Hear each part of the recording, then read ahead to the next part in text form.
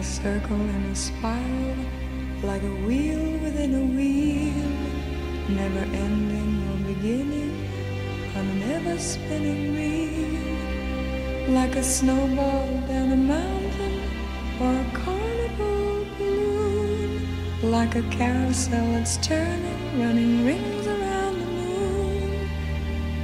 clock whose hands are sweeping past the minutes of its face, and the world is like an apple whirling silently in space, like the circles that you find. I feel like In we don't get to talk that often. Well, we do, but it's being two hours apart. It's like, hello?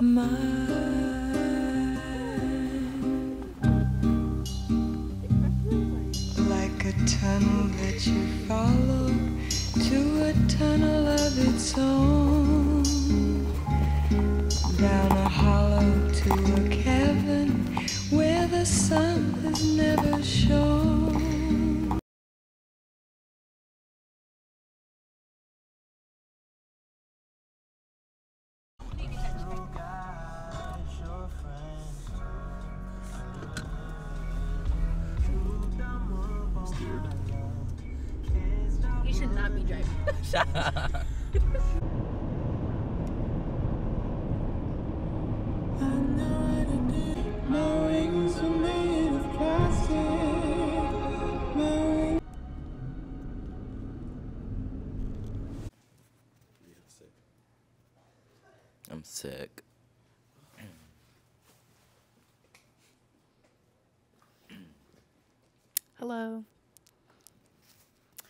Hey guys, welcome back.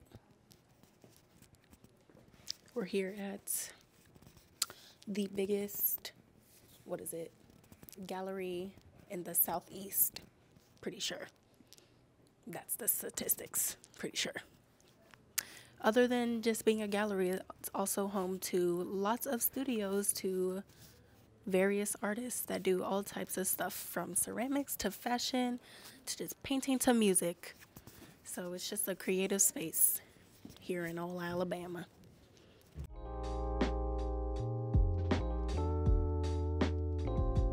I look like I need to stop doing things with an audience in mind or like a final product in mind.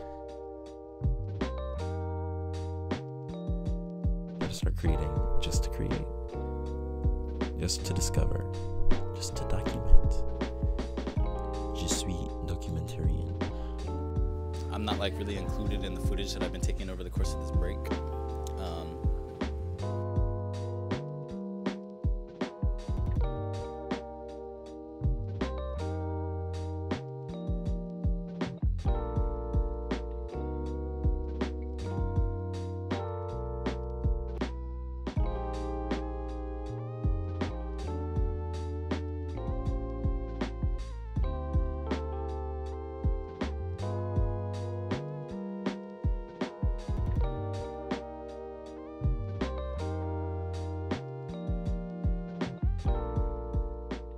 So I spent sophomore year.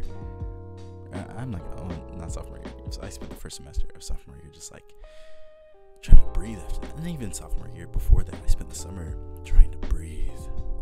You know, trying to realign. And I couldn't. I was like, why? Please. This sucks. What's going on? is it good? It's pretty good, very cheesy. It's delish. That smells good.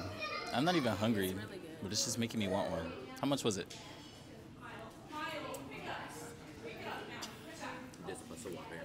Eight bucks. Are you serious? Oh! Eight?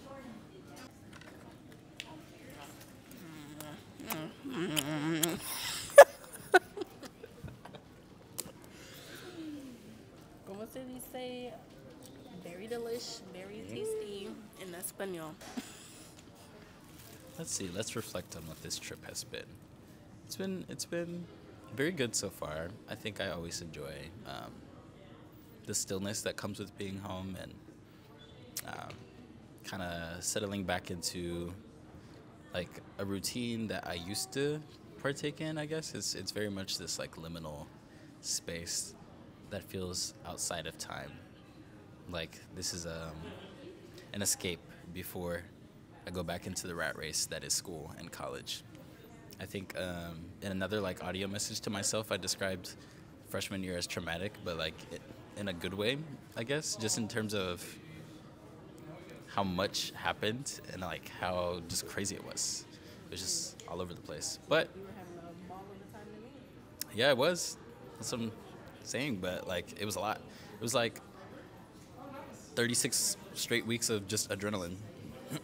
and then the summer came, and I was like, whew, okay, time to recover. So, in my recovery era, actually, no, this semester was the recovery era.